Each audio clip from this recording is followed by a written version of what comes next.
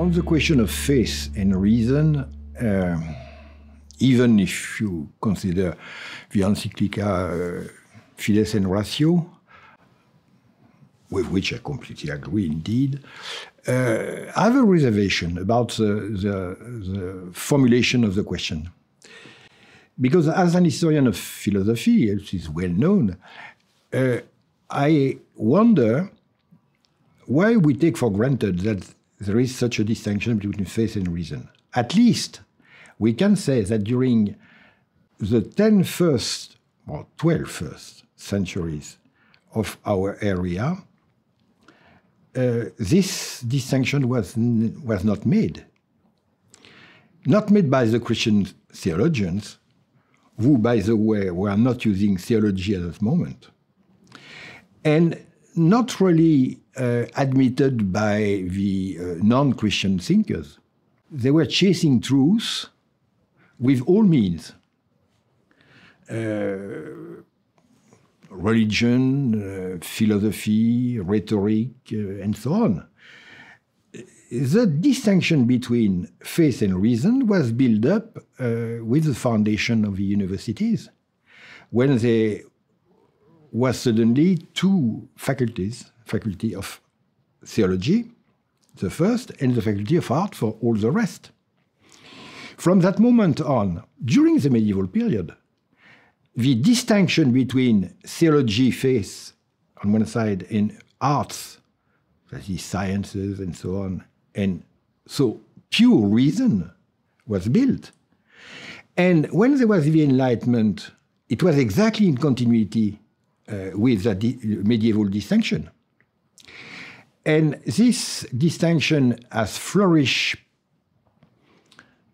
up to the moment, which happened in the, I would say, at the turn of the 19th, 20th century, at the moment when reason itself, the so-called uh, pure reason, the self-sustaining reason, uh, the reason imposing uh, the principle of rationality and so on, the a priori reason, became at odds in defining itself. The crisis of principles did not only happen in fundamental physics, and we are not, uh, we did not got out of that yet, but in, it is also in in uh, in uh, in philosophy as well. So now, the opposition between reason and faith implies that reason knows exactly what it can do, what it cannot know, and knows the limits of reason. Beyond the limits, this is the rationality of faith, okay, very simple.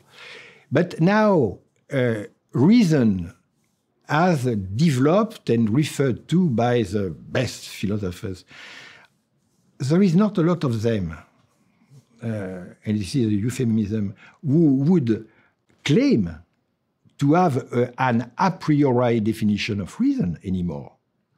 We have only an a posteriori use of reason. That is, as long as we produce arguments, as long as we put rationality into new fields, we say that this is reason. But the new fields we try to make more rational were uh, and are uh, beyond the limits of pure reason uh, as understood in the past. I give some examples. The question of the soul is now ruled partly, largely, by not biological sciences or uh, sciences of the mind and things like that, but by psychoanalysis. It is the so-called unconsciousness, which is the real field where the question of the soul is now uh, studied and, and practiced.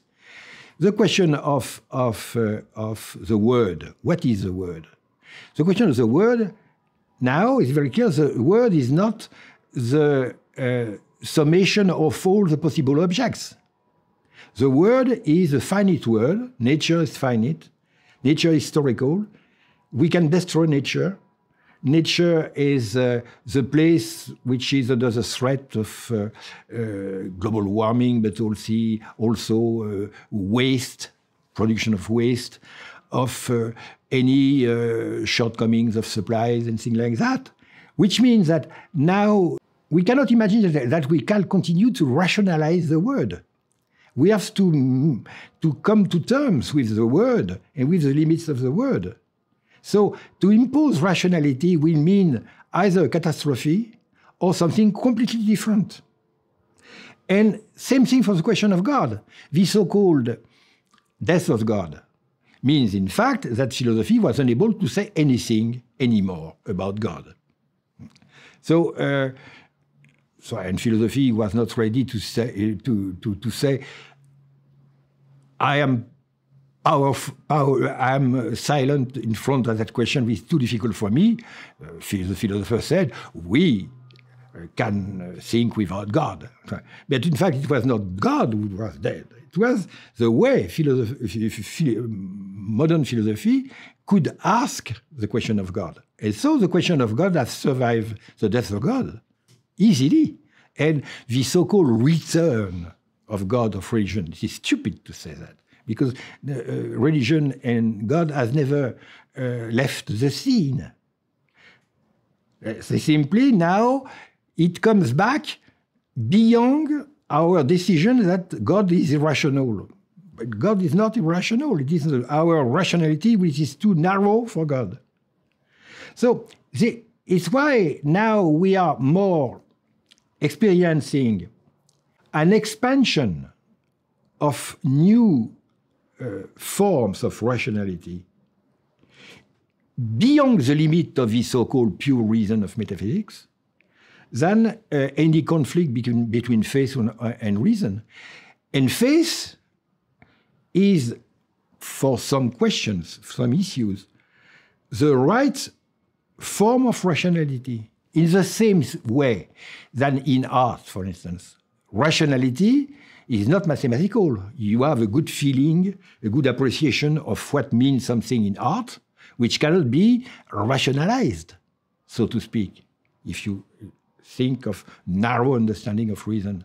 Same thing for uh, intersubjectivities. Intersubjectivity cannot, cannot be explained simply by the law of, uh, of the market or by uh, biology. When you deal with another self, uh, there are some other rules. Those rules are known. The rule of uh, hatred, love, seduction, uh, deal, uh, equality, many other things, which should become rational. And there is violence in the relation to the other when the rationality, the special rationality, which can make sense in that situation, is not known. So, distinction between faith and, and reason is uh, an old fashioned, historically questionable, and uh, rationally inaccurate way to ask the question.